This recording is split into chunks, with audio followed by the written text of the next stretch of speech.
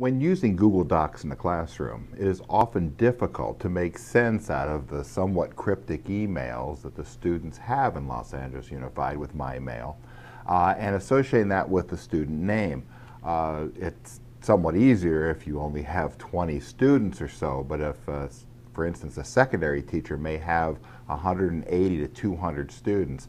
And so as a means of doing that, uh, this is going to be the first video in a series of the, in the Survive in the Classroom with Google Contacts. Uh, to do that, we're going to create a form so we can gather that data either from ourselves or from our students. Let's get started.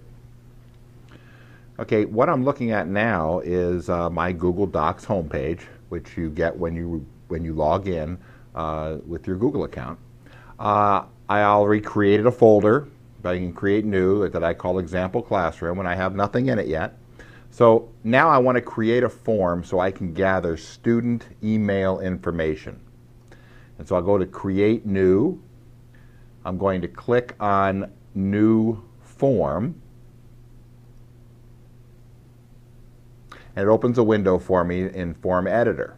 Now, a Google form is nothing more than a spreadsheet and uh, well, actually, it's not a spreadsheet. It's a uh, it's a data input device for a spreadsheet. So it's creating a spreadsheet in the background as I create the form.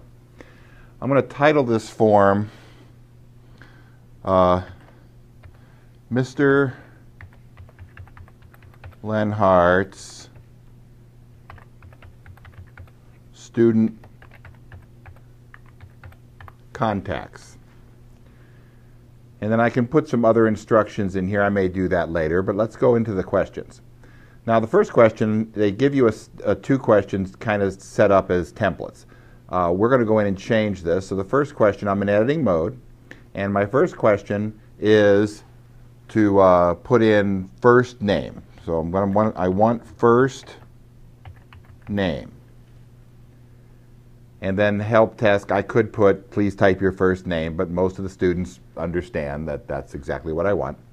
The question type, I have a, a bunch of different question types. For this one, I actually want them to type in uh, their first name. And then I'm going to make this a required question because I don't want them to submit with it being blank. And so first name, text, and I'm going to say done. So I have my first one. Now, question number two, I need notice when I scroll over it, it I get a bar here and it shows me some editing. Uh, this is the edit tool. This is the duplicate it uh, tool. And then here is the trash it, I don't need it, delete tool. So I'm going to choose edit. And on question two, I'm going to put, bet you already guessed it, last name. And this will also be text, and I want to make this a required question. So I select done. Now I have a few, obviously I want to get their email, so I can go to add an item, and I'm going to choose a text type question.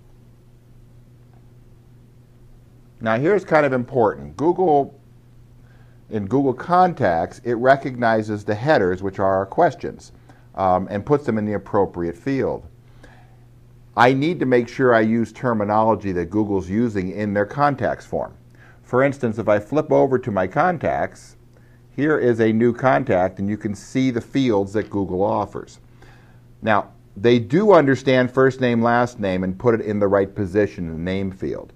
But if I need email, I need to use the word email, not student email, not my mail, email. And then any other area here I could add to uh, but let me go back to the forms now.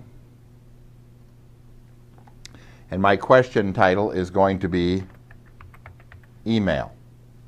In my help te text, I'm going to write, please enter your my mail account or my yeah my my mail account completely. That'd probably be helpful if I actually spelled completely right, since I can't type. So completely, and uh, and then I'm going to put an example in there, which would be uh, uh, Joe. Actually, no, they don't have names, do they? So it'd be JXS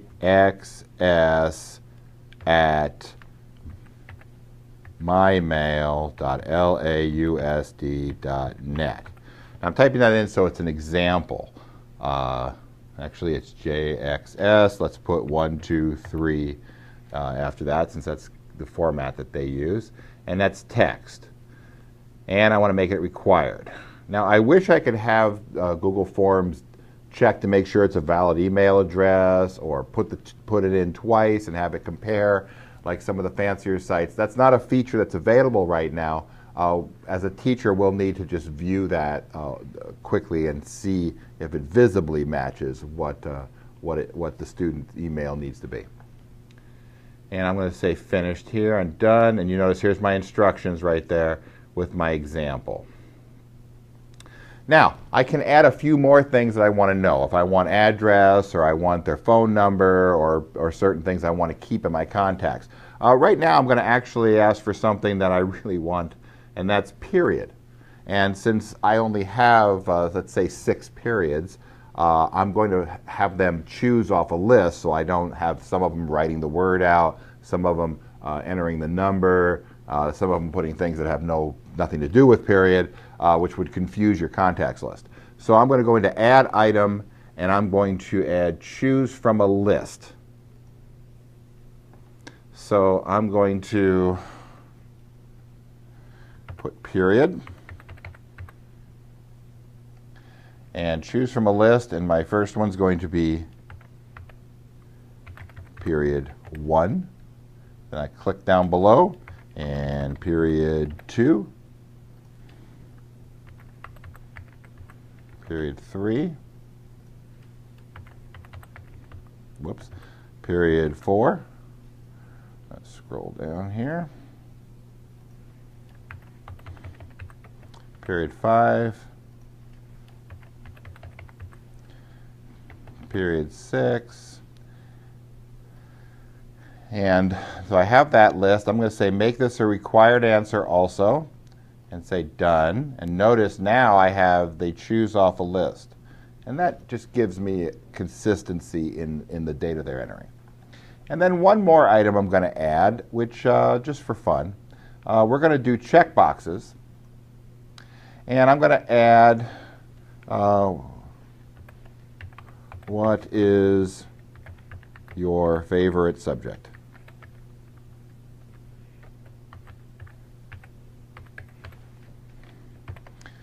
What is your favorite subject?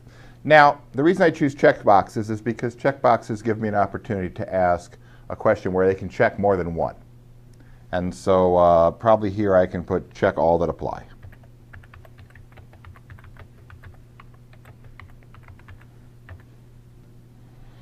And so for first option, I'm going to put, now since I am a language arts teacher, I'm actually going to put uh, English.